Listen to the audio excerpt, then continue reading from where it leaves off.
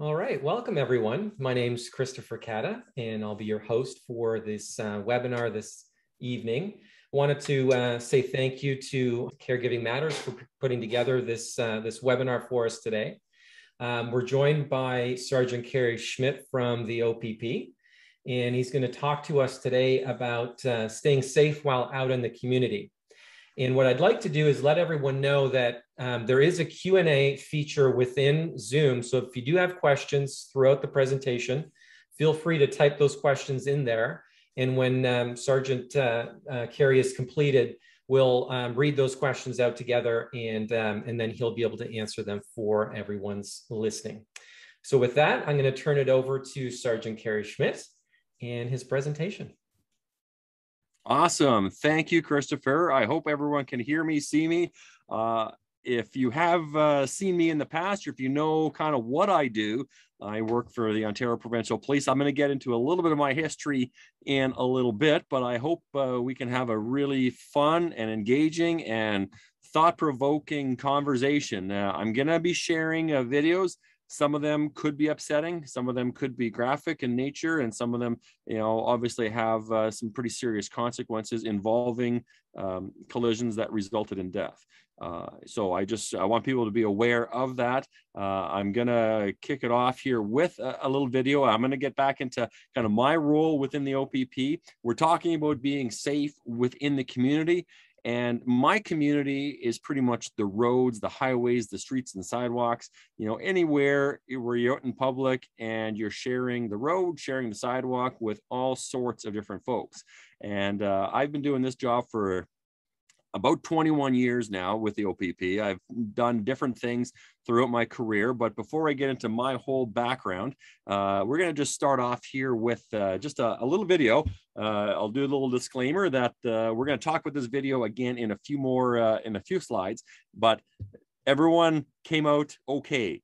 But when you see it, I think you will be somewhat surprised and somewhat shocked. And uh, let's just take a look at it here. And uh, and it's from a dash cam. And I'm telling you, we get all kinds of dash cams now from uh, the, the drivers out there when they see crazy things out on the roads. Uh, but just keep your eye on the oncoming lanes of the traffic. Don't look at the three lanes in front of the truck.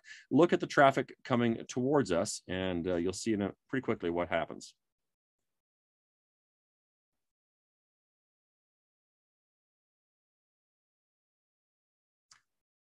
So that's a pretty wild ride, I would say. And uh, hopefully you caught that. That's where the vehicle ended up. But when it came to its final rest, uh, there was one person in that vehicle. That person was taken to hospital, and uh, and it was a senior, and uh, and they uh, made a full recovery, although it was quite the uh, ordeal for her. Uh, she was not aware of what actually took place. We're going to talk about this in a second. But again, we're talking about uh, being safe in the community and we're talking about a 65 plus uh, group and if there is a possibility for people to be joining on the chat uh, if someone wants to just test the chat right now i'd love someone just to say hello and uh, tell me that they're listening it listening and hearing and we're going to talk a little bit about some statistics that we have seen uh, over the last 10 years involving drivers of uh, of senior age 65 plus. So uh, James, hey, Christopher. Oh, hi, James. Uh, I got a couple hellos there. That's awesome. So, do you know what? I'm watching over here. I've got a whole pile of screens here. So, if I'm looking a little uh, distracted and ADHD or whatever, I'm looking up at, at, different screens. But let's let's talk about us and let's talk about our drivers and our abilities. Uh, whether that's you or someone you care for, someone you love, uh, and uh, we're going to talk about some of the stats that we have seen. So, in the past 10 years of 65 plus drivers, uh, 22% of all the fatalities that we investigated were uh, of, of that demographic, 65 plus. Now, numbers can say a lot of things. If any of you have a background in accounting, you can kind of make a, make numbers say whatever you want.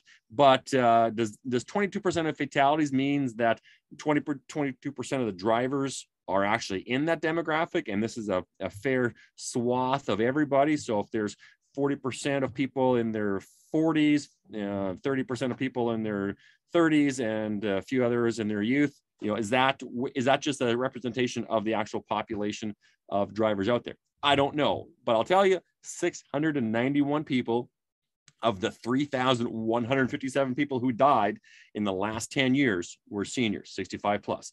Um, of those deaths, most of them were the drivers. So 68% of them were drivers, 20% of them were passengers, 11, sorry, there should be a percentage sign there, were pedestrians. So again, sometimes mobility may be an issue. You may not be in your vehicle. And, uh, and so 11% of them were the pedestrian that was hit by another vehicle. And, and in those situations, uh, it would likely be the fault of the other driver. Pedestrian has a right of way depending where you're crossing. Hopefully, you're crossing at a at a signalized area or where uh, you, you should be crossing. Uh, and 1%, a small number of people were uh, killed as a result of in, being in their personal mobility device. If that's your wheelchair, your electric e-scooter, uh, or maybe you're driving around in your little Vespa um, e-bike as well. So uh, majority, two thirds were males, men, one third were females. Now, you know, we can talk about faults and crashes and numbers of statistics. Again, this is only numbers of uh, percentages where there were two or more vehicles involved. If it's a single vehicle collision, um, and we see that you know very often losing control slippery roads wet roads uh, maybe it's a medical condition someone is involved in a collision and and they suffer from trauma and they die as a result of the collision, not as a result of the medical episode, fatigue, distraction. These are all the different characteristics that we see all the time. Now, I've got a lot of slides to get through, so I got to keep keep going here, and uh, and hopefully we can uh, you know get through as much as we can. But I'm looking forward to answering questions at the end of this as well. In some situations, there is just nothing that you can do to prevent and avoid a collision. The case in point, this was, uh, again, an older uh, gentleman that was operating his uh, GMC Yukon uh, in the wintertime. This is a couple years back now, and he was hit by a flying truck wheel. And we've all heard about the flying truck wheels probably in the past, you know, and when they start bouncing towards you coming from an oncoming vehicle, transport truck or passenger vehicle, um, by the time you realize you're on a collision course with that wheel, you probably have nothing to do except for uh, try to comprehend what it is and you're along for the ride. And it is a pretty frightening situation. This gentleman was uh, airlifted, but he died en route to hospital. You know, we see trauma and accidents and collisions, and I don't really call them accidents, but uh, in, when we talk about accidents, we probably all recognize what this is. Uh, and this was uh, back in Saskatchewan a couple years back when the hockey team uh, was wiped out by a transport truck. But it was no accident. And just a quick a couple of quick little definitions here an accident, an event that is not planned or intended, an event that occurs by chance. So, did, did this happen by chance or did this happen by something else? And uh, the next slide most motor vehicle collisions are often predictable and preventable. And we know the history of between that driver and every other collision that we investigate. Therefore, they're not accidents at all. Um, so that's uh, one thing I want people to think about. You know, if you're engaged in a behavior that is putting yourself at risk, or you're in a condition that's making you uh, vulnerable to not being able to react or adapt to the situation in front of you, uh, then it's something that we can expect will happen given the right circumstance at the right amount of time. It's not just an accident. It's something that we should have seen. And, and maybe there are times where, listen, we shouldn't be on the road either because of our, our physical condition our physical impairment, uh, our fatigue, or if we're not being able to focus on the task of driving, uh, because we're distracted either by your cell phone or by any other uh, thing that's uh, uh taking away your cognitive ability to uh, operate your vehicle or whatever machinery you're operating safely. I will. I do want to talk a little bit about some of the great things that ever that seniors 65 pluses are are great at, and that's one thing that we want to emulate, you know, across all demographics. But of all these crashes, 65% of all, 87% of all the 65 plus drivers were wearing their seatbelts. Thank you, thank you, thank you. You grew up in a time, and you remember that time when seatbelts were no were not actually part of the law. And uh, I vaguely remember it. I remember being in my in my youth age when uh, I could sit on the floor, sit on the back uh, uh whatever you call it in the back, uh, uh, sill behind the, the seats uh, in my parents' station wagon, or I'd sit up on the big uh, armrest and, and get a great view. But boy, I'm talking about being a projectile. So thank you for wearing your seatbelts. That has saved countless lives. And one life in particular is back to this one here again. And I want to show you this video, but this video also, it shows the video again, but it also goes into the reaction and you'll, you're going to meet the woman who was in this vehicle at the time. And if any of you are into uh, thrill rides, roller coasters, or any types of activities, uh, this was quite the ride that uh, she went on. So let's just take a quick listen to her experience and her reaction when she saw this video for the first time. If you're watching this video, that's me. And I'm alive. When I shouldn't be. Can I show you what I have here? Press play, and you just watch watch for the dirt first, because that's the first thing that's going to draw your attention. Oh, that's me.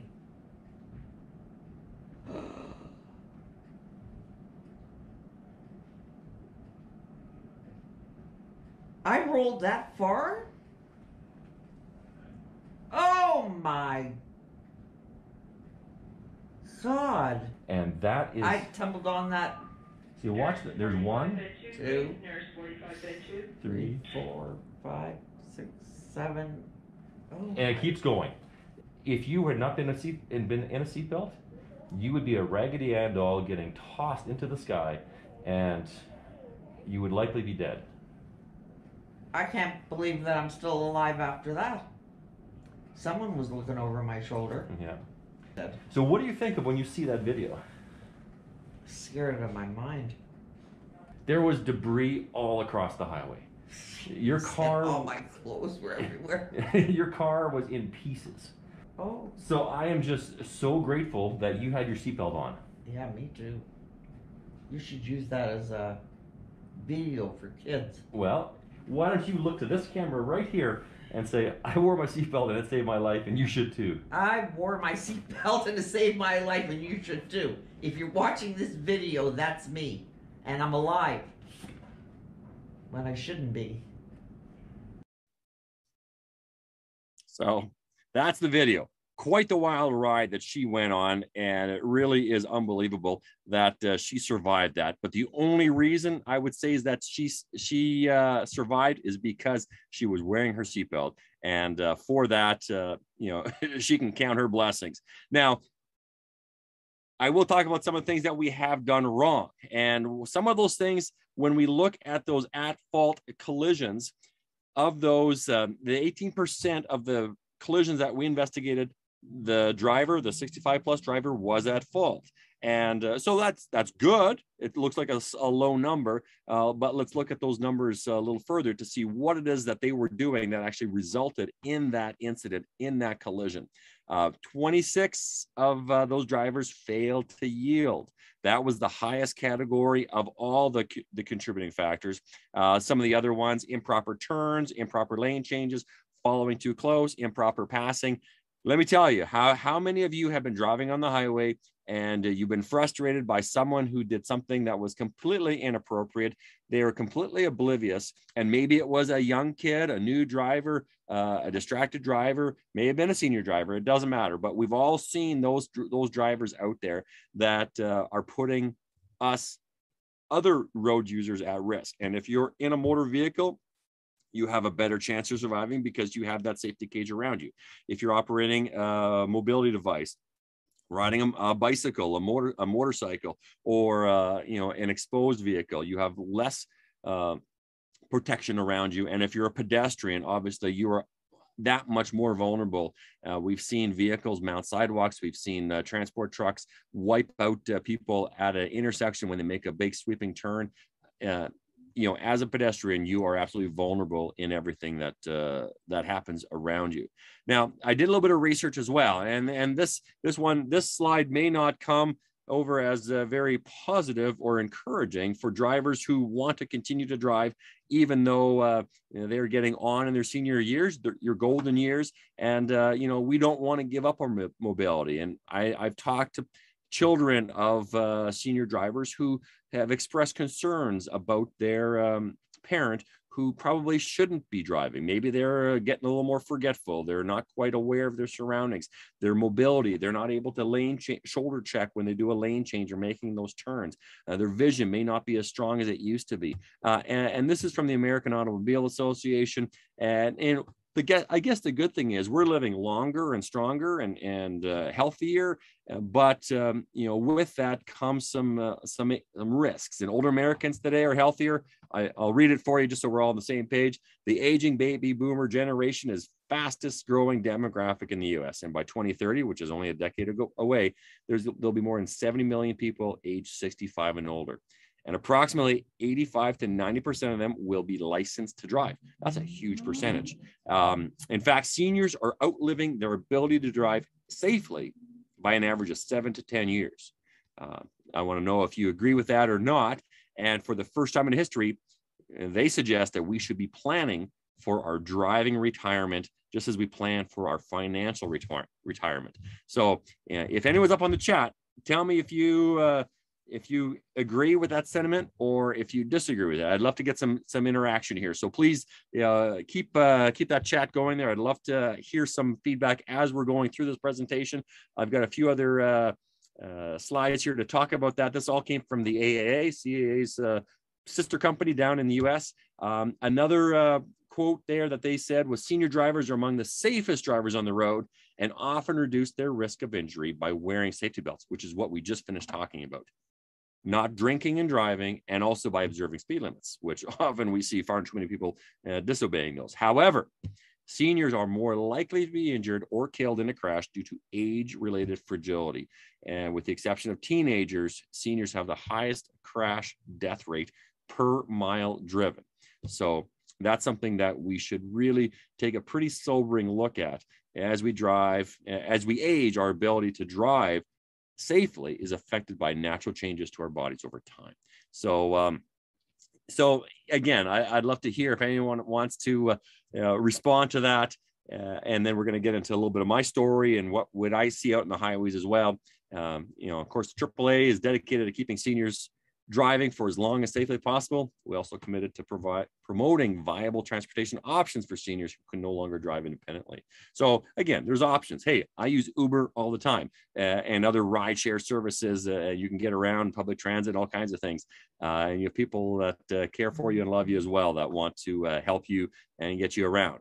Now, times have changed. And case in point, this is what my job or my role looked like not long ago. And you probably recognize maybe some of those fenders on some of those vehicles. Back in the day, a media officer with the OPP was uh, a person standing in front of a microphone, uh, someone recording a video, a film, and then running back to the station, cutting it up into an episode or into a news segment and putting it on the six o'clock or the 11 o'clock news. And until 11 o'clock happened, no one knew it ever happened uh, because it wasn't on the news. Well, we're in a whole new world right now. And I'm sure uh, people that are active and out there now scrums that I'm doing. This is one of my interviews that I did recently, you know, multiple cameras, but a lot of people, if you look closely at these pictures, you sure you got the big cameras uh, on the tripods uh, a little further back, but you also have those reporters and journalists right in my face holding microphones. And they're not just holding microphones, but this is what I see when I do an interview.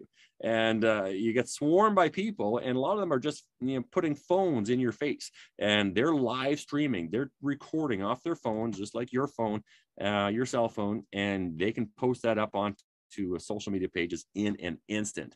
Um, um, do you know what? Hey, do you, I love the chats. Uh, my family doc said he took away three licenses per week on average you know that's amazing I, I know doctors struggle with that because doctors want to keep that healthy relationship with their their patients and, and that's something you know i commend uh, doctors who understand the greater good and the, in the public safety eyes when someone isn't in a position when they should be uh, driving so thank you so much uh, james for putting that comment. Um, again uh, here you know doing an interview doing a scrum going to the news but we live in a world now that's not just the news but it's going social And I'd love to know if anyone out there is active on social media and what your platforms of choice are. Uh, are you a Facebooker? Are you a Twitter person? Maybe you're a TikToker already. Who knows? Uh, there's lots of options out there uh, for you to connect with your family, with your friends, to find out what's going on in the world, to hear what's going on in the world. And uh, in the social media is changing. And the biggest people, the biggest demographic increasing their social media content are those people 55 plus. So that's again that's our your uh, demographic your generation and uh, you're becoming more and more uh, connected online through social media platforms. And and that's fantastic because you can learn a lot. If i can impart one thing that i would want people to understand is to read and listen and learn and, and, and receive perspectives from as many people as possible. You're listening to me right now, which I love and it's fantastic, but there's a lot of perspectives out there. And the more you learn, the more you understand, the more open you are to new and diverse ideas, uh, you will be uh, uh, more objective and under, being able to understand and uh, discriminate into what you believe uh, is uh, is the right avenue for you when you're making decisions. and you look at, and this is TikTok's rise, and 50 plus years. Uh, again, lower demographic, but it's climbing, it's climbing, it's climbing. And we're seeing more and more of that all the time. You may be watching the news uh, on a regular basis on television, or maybe you're watching or listening it listening to the news on your uh, on your phone. Who knows? Uh, but again, uh, target audiences. I'm telling you, the older demographic is getting more and more connected. This is a uh, this is a chart of the CTV news here in Toronto, and uh, you can see the uh, the demographic about 200 to 300,000 people watch any uh, six o'clock newscast on any given night, uh, and it's relatively consistent across the the the, the hour broadcast. But uh, this slide tells me who's actually watching.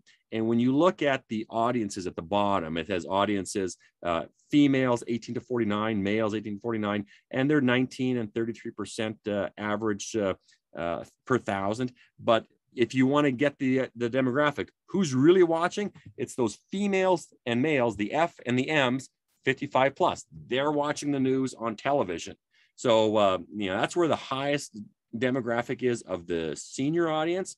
When you look at the other side, Facebook and so on, this is where you're getting the younger audience. But again, the senior audience is growing. So, you know, learn and, and get information from as many sources as you can. It'll help you to understand how you can be safe out on the roads as well. but uh, this is just a, a video of, of aggressive drivers. And uh, we'll, I'll just, I'll actually, I'll play it out here real quick and you'll see what, uh, what's going on. And if you look off on, on the left, there's a car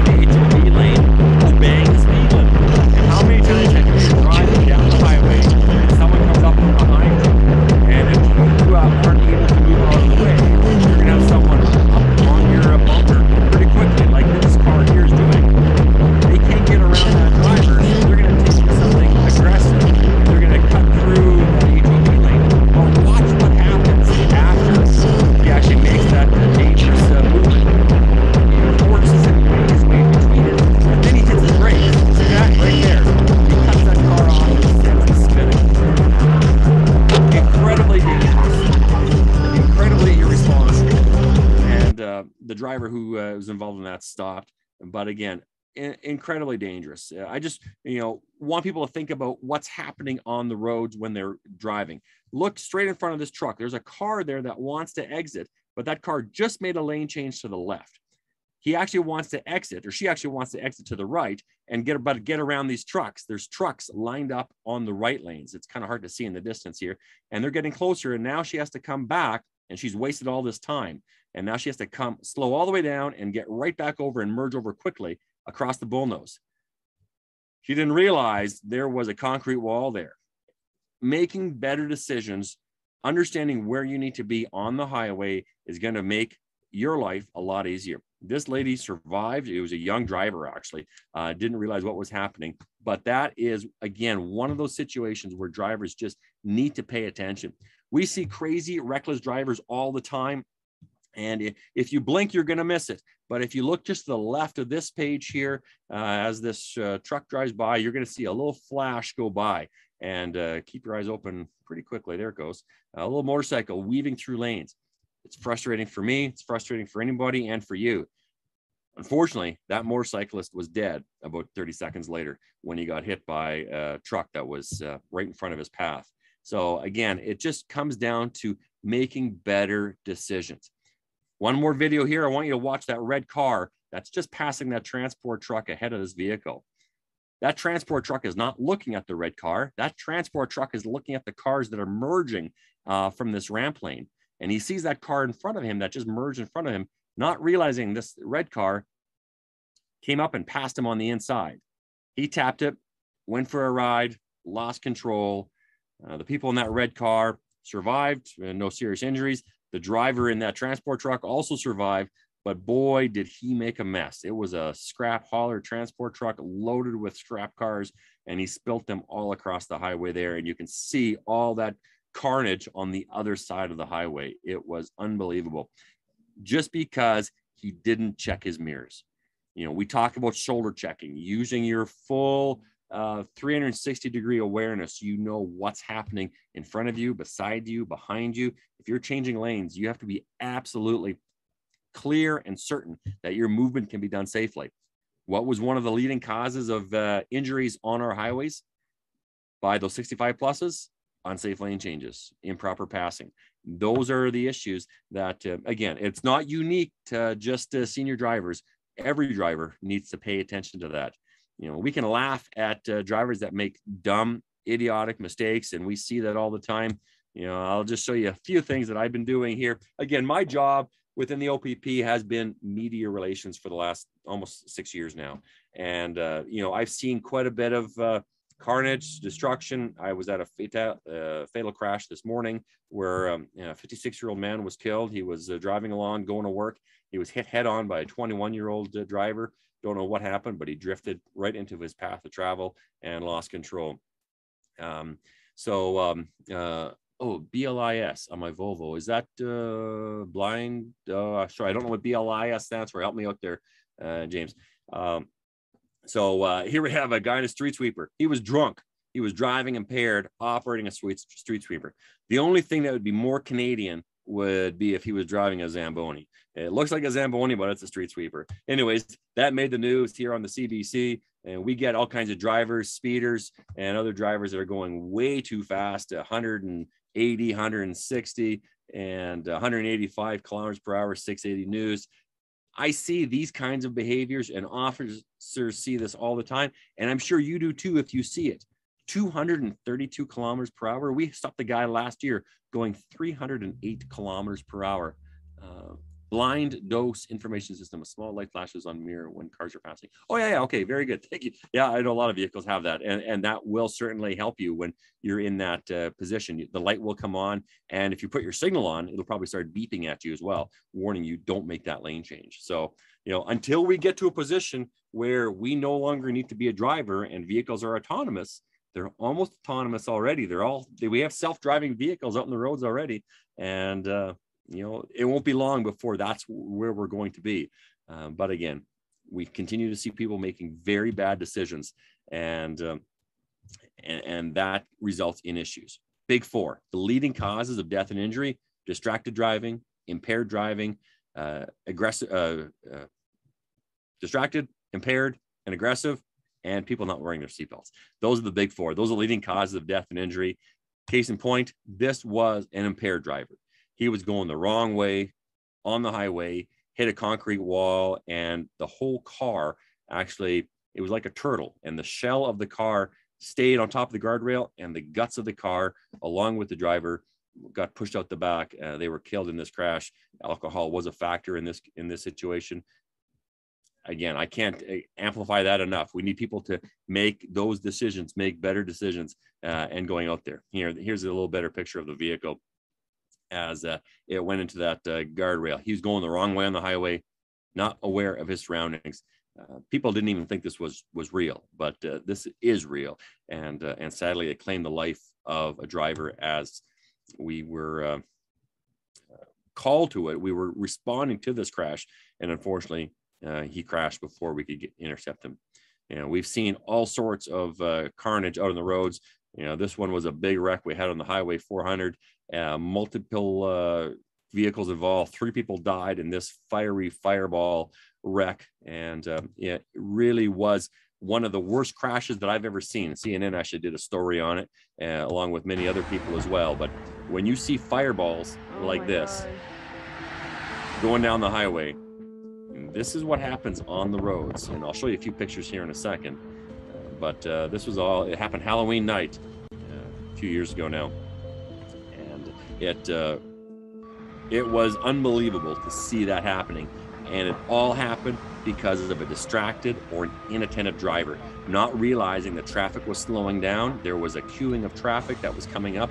And as the transport truck collided, it's something I think probably the one of the worst crashes I've ever seen in terms of. I was really tired when I said that because I'd been going all night. and and uh, when that happened, uh, this driver slammed in the back of stop traffic. So if ever you have to slow down uh, because of traffic jams, look in your mirror. And if there's a if there's a car roaring down on you, you better brace for impact or get out of the way. And hopefully you have an escape route because this is the first vehicle that was ki- that was involved. The driver was killed in this collision. There was a massive fire that consumed these vehicles. Vehicles made of steel looked like that, and that vehicles made of aluminum looked like this and that, and they melt because of the extreme temperatures.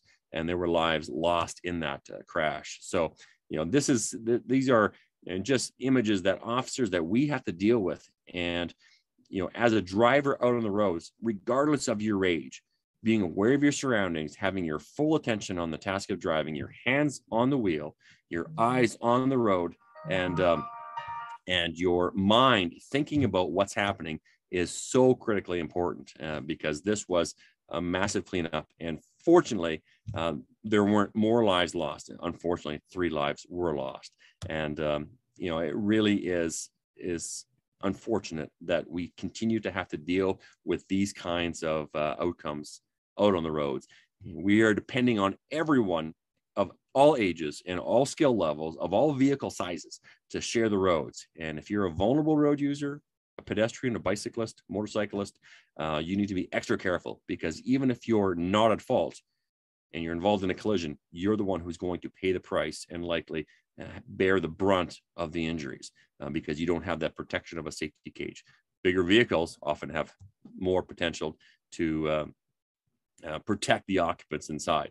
Uh, but when fire is involved and large vehicles are involved, you're going to get all the, the, the troops to show up to assist. But unfortunately, these all resulted in, in massive fatalities families wiped out because of drivers not paying attention. I, I need, and we need people to drive in a way that is appropriate. And uh, again, you need to consider your abilities as well. If you think uh, that uh, you struggle with vision, with mobility, with awareness, with reaction times, um, that's something that maybe you should have a really heart to heart discussion with your loved ones and, and even your doctor to say, where am I in terms of my my ability to operate a vehicle safely? You can save a lot of money by taking other options and putting yourself in a much better position without putting the liability on you to uh, to drive in a manner that could cause problems. And uh, you know, I'd love to chat. I know time just flies quickly, so I'm not sure how much time we want to keep going here. But uh, I can keep going on with stories. I've been doing this job now for 21 years. I've seen so much, and you know, I just came from a fatal crashing on Highway 9. I was up on the 401 this afternoon, uh, coming across all different kinds of fender benders. Some of them result in injuries, some of them result in property damage, uh, but they all result in frustrated motorists stuck in traffic. So uh, I'd love to hear your feedback, your comments, and um, uh, you know, tanker truck on the 401. I remember that one as well. That's quite a few years ago. But uh, Christopher, how are you doing? How are we doing for time? And did we get any uh, any uh, feedback here? What do we got for people uh, talking about uh, our world? Yeah, no, we're good. We've we've got some time. So if anyone does have any other additional questions for Kerry, please do uh, let us know. Uh, if you do want to say something, I can unmute you. Um, you just have to let me know. You can raise your hand in Zoom or um, or just post that in in the chat.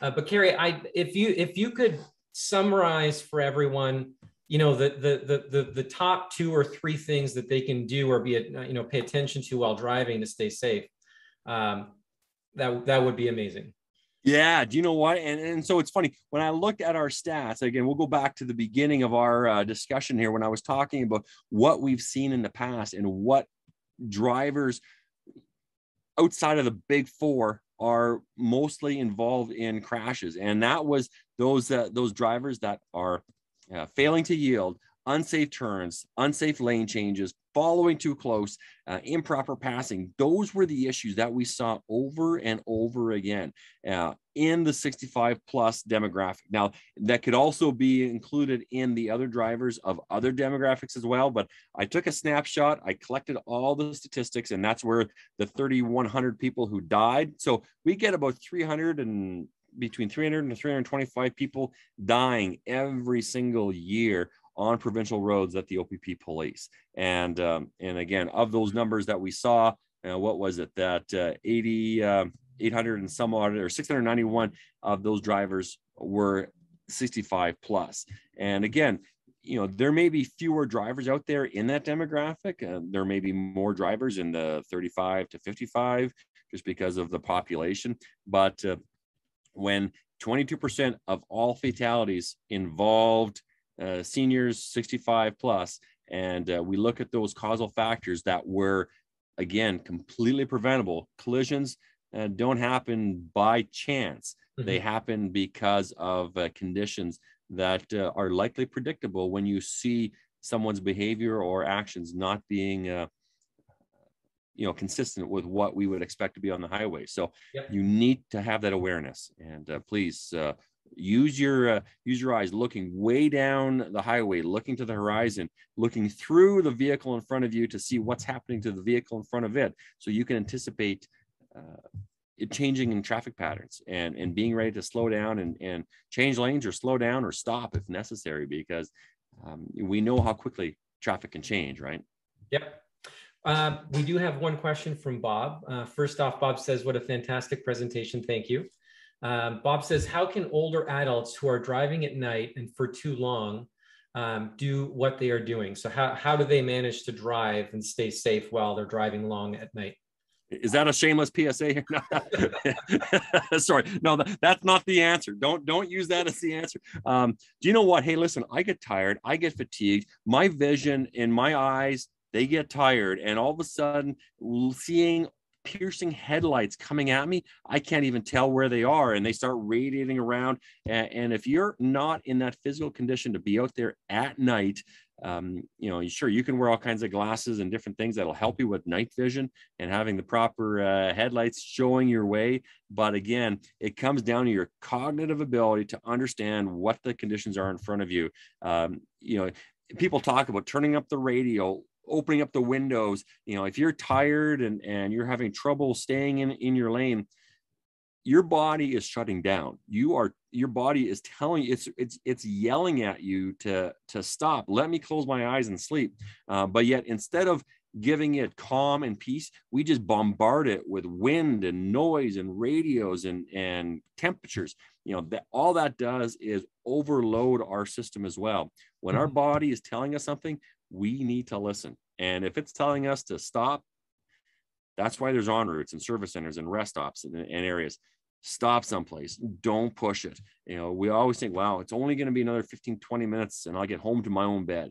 But in those 15, 20 minutes, that's where the proportion, the risk factors skyrocket. The chances of you being involved in a collision on that last short leg of getting home uh, is so much greater than when you're fresh and alert and, and reactive earlier on on your journey. So it really is listening to your body. Um, you know, we, you know, I get, I'll talk about if we're all 65 plus, we've had six decades to to understand who we are as a person and how we can uh, be uh, in tune with what our body's telling us. And if our body's telling us something's wrong, it's very wrong and we don't want to push our chances so i hope that helps i don't i don't know if that answers the question completely yeah. but um, there's no fail safe quick method uh, that's uh, going to also change the switch and you know a cup of coffee may help you but it's uh, when your body's tired it's tired and it needs rest yeah Good point. I do have one one other question for you. Um, that, given that we're you know we've been going through 18 months of of lockdown and, and pandemic and things like that, I personally have noticed. Um, obviously, um, last year there was certainly fewer people on the highway because no one was you know there were far fewer people driving to work. But as as the months rolled by, I seem to notice that there were two two different kinds of drivers on the road. There were far more aggressive drivers, so you know a lot more speeding, 120, 130, yes. even higher on a regular basis, uh, but also more vehicles driving at at the speed limit or just under. So I, I was noticing a huge speed differential, yeah. much more faster drivers and more slower drivers which for me, who typically drives maybe 110, maybe 120, um, mm-hmm. I was noticing that I was getting, you know, like passed a lot, but then also passing slower drivers, and it was it was a lot more chaotic. And I'm wondering if that is something that you've been seeing as a trend that's actually happening, and and what people can do to stay safe around that kind of ch- uh, changing traffic pattern that we're seeing now. Yeah, well, we certainly saw a lot of high risk, aggressive speeding drivers uh, early on in the pandemic when all of a sudden the highways were empty. We used to never get speeders at three in the afternoon on the 401 through Toronto because it was gridlocked. Uh, now, a year ago, all of a sudden, three in the afternoon, the highways were wide open and we're getting drivers doing 160, 170, 180 kilometers per hour beside transport trucks that are doing 100 or 105 and other drivers that are going 80 or 90. You may people often think that the 401 uh, is is always 120 130 plus only and there's no one going less than that there's a lot of people going a lot less than that and there's a lot of speed differential i wanted uh, one thing i really want to tell and, and, connect with drivers is lane discipline. It's one of my biggest pet peeves that i see on the roads. It causes all kinds of road rage. If you are driving along at 100 kilometers per hour 105 or 115 i don't care how fast you're going and you're in the far left lane and a car passes you to the right you're in the wrong lane. You need to move over. When there's a car behind you and they're tailgating you, yes, they need to back off and not follow too closely, but they're probably telling you that they want to pass. And I get so many drivers that want to stay in that left lane because they they feel that that's the best place for them because they don't have to focus on moving traffic. Traffic lanes, cars that are merging from the highways or coming off, the transport trucks are in the right lanes. If you're in the left lane, you are impeding traffic and now you're going to see aggressive drivers passing you on the inside i need everyone. If you are not passing somebody you need to move over to the right. The left lane is for passing passing only and uh, the right lanes are for driving. Driving is an active task. It requires your full participation your full involvement and uh, you can't just sit down on cruise control put it on um, cruise at 120 and think that you can just drive in the left lane all day long because you're going to have a train of cars behind you getting frustrated, following too close, and uh, you're going to see cars weaving through traffic. And you probably think, well, look at that guy weaving through traffic, driving like an idiot. Uh, and yes, he probably is driving like an idiot. But let's look at the root cause of why he's driving like an idiot. It may be because there's someone else who's also driving the way they shouldn't be in that left lane, impeding traffic. There's unnecessary slow driving, which you can be charged with, uh, careless driving, um, interfere with traffic, uh, fail to turn out to right when being overtaken. These are all offenses within the Highway Traffic Act that drivers should pay attention to. So, uh, if I could ask people to uh, be aware of your surroundings, you're not just looking forward, you're looking in your mirrors every five, ten seconds to see what's behind you. If there's a car behind you and there's no car in front of you, you got to move over. Excellent points. Thank you so much, Kerry. This was fantastic. Um, once again, thank you for for doing this presentation. Um, the, everyone, you know, the, the questions we got were great. I want to remind everyone that um, we did record the session, so it's going to be available afterwards on the Caregiving Matters website, and we'll be sending out an email for everyone to, to get that link. And uh, I will remind everyone there are additional um, presentations coming up over the next few months. Uh, please do visit the Caregiving Matters website to register for those, and we hope to see you on the next one. Thank you so much, Kerry. Amazing. Thank you. Thanks for having me. Appreciate it. You're welcome. All right. Stay safe, everyone. All right. Bye.